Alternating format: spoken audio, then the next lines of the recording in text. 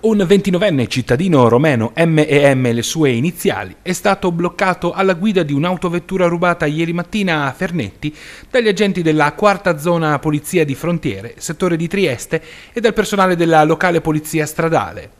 L'uomo in procinto di lasciare il paese per rientrare in patria è stato controllato nell'ambito delle consuete attività di contrasto alla criminalità transfrontaliera.